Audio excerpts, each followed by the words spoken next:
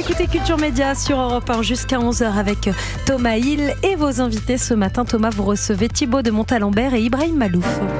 Pour un homme qui boit, rêve toujours d'un homme qui écoute. C'est la pièce que vous jouez en ce moment au 13e art, théâtre de la Porte d'Italie. On entend quelques notes qui sont jouées euh, sur scène. Et je disais tout à l'heure, euh, c'est la première fois, Ibrahim Malouf, que vous jouez un texte hein, sur scène. Alors, au début, vous arrivez avec votre trompette. Là, vous êtes euh, dans, dans vos habitudes. Et puis, il y a un moment, il faut jouer. Et c'est une nouvelle expérience pour vous. Comment C'est assez brutal d'ailleurs, hein, parce que j'ai quand même 43 ballets. Ouais. Et j'ai jamais, absolument jamais, jamais fait ça. Donc euh, vraiment, je me jette dans le vide. Et heureusement, je suis, je suis bien entouré. j'ai euh, à mes côtés euh, plusieurs personnes qui sont très bienveillantes, qui m'ont fait une sorte de mise à niveau. Ah, il y a eu un entraînement express. entraînement, non, mais un travail. Alors, on aurait peut-être on aurait certainement aimé en avoir, avoir un peu plus de temps. Mais avec le temps qu'on avait, on a, on a, j'ai beaucoup, beaucoup travaillé. J'ai bon, peut-être que Thibaut pourra avoir a, peut-être un peu plus de recul. Moi, je, vraiment le nez dans le, dans le boulot. Donc, euh, mais j'ai senti en effet que entre euh, les premières fois où je lisais le texte avec Thibaut et où je découvrais un peu euh, comment on fait pour répondre à quelqu'un quand c'est quand c'est écrit, quand c'est pas naturel. Déjà, faire naturel alors les premières lectures. Ouais, voilà, de, de, essayer de. Alors le théâtre là, j'ai envie, j'allais dire l'avantage, c'est pas un avantage, mais on n'est pas, c'est pas censé ressembler à la réalité non plus. C'est du théâtre, donc, euh, donc euh, on est censé euh, avoir une forme d'expression théâtrale. Même dans la façon de porter la voix, justement. Dans la façon de porter la voix, c'est tout sauf naturel. Hein. Bah vraiment, là pour le, je découvre à quel point vraiment c'est fou le théâtre, c'est vraiment quelque chose de, de qui, est, tout sauf naturel en, réalité. Mais l'impression que ça doit donner pour une personne qui est dans le public, c'est qu'il y a quand même un échange sincère en tout cas. Mm, mm. Et et voilà, j'ai travaillé ça euh, avec Thibaut, avec Denise de Chalem, qui, qui m'a aussi beaucoup aidé. La metteur en scène. en scène et autrice de la pièce. Et alors, vous qui avez beaucoup joué au théâtre, qui avez même été pensionnaire de la comédie mm. française à une époque, Thibaut de Montalembert, euh, vous lui avez donné des conseils? Vous lui avez donné quoi comme conseil? Bah, Après, alors, ce que je, Ibrahim, Ibrahim est musicien, donc déjà, il a le sens du rythme, ce mm. qui est quand même un des avantages majeurs aussi de, de d'un acteur de théâtre, d'avoir le sens du rythme. Bien sûr. Parce que c'est avoir le sens aussi des ruptures changer de rythme, etc. Euh, il a quand même, même s'il a jamais joué, il a pratiqué le plateau depuis tellement longtemps que voilà. Donc c'était quand même deux atouts formidables.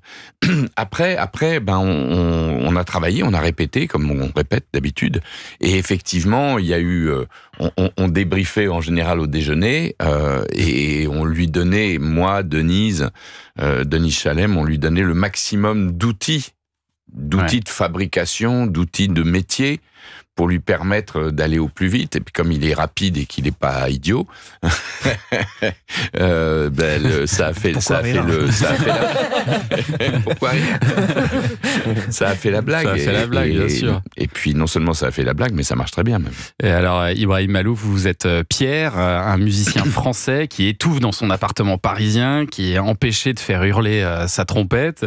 Et vous, Thibaut de Montalembert, vous jouez Zireg, Sireg, un, un, un écrivain algérien à l'apogée de sa carrière, mais alors contesté euh, en Algérie. Et vous invitez donc euh, votre ami chez vous en Algérie pour un petit moment euh, de répit.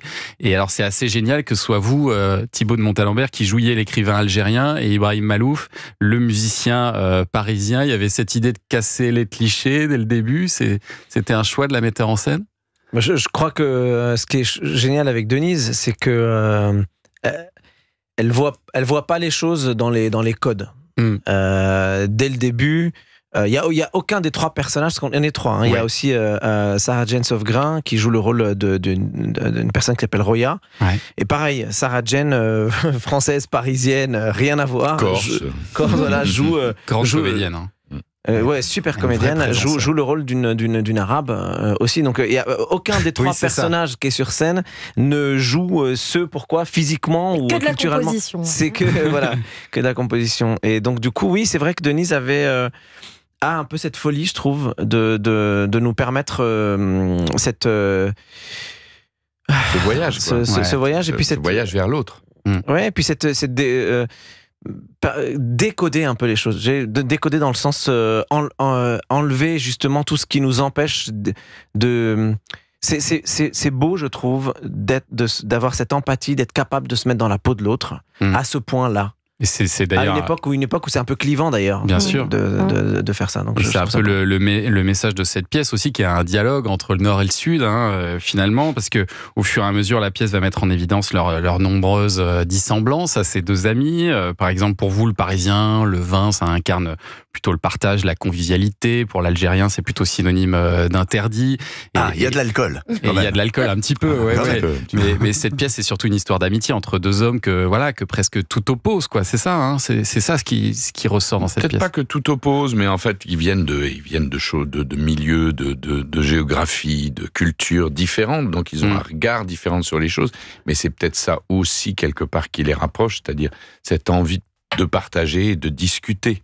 Alors, il n'y a pas de, on peut pas dire qu'il y ait de vrais affrontements, euh, même si par moments on s'engueule, etc. Non, mais il y a des vrais sujets. Mais il y a des vrais la place de la femme, de la religion, de l'islamisme politique, tout ça, vous en parlez et ça, ça suscite le, débat et peut-être les discussions derrière quand on sort de la pièce. Je pense que c'est un peu ça aussi l'objectif, Ibrahim Malouf.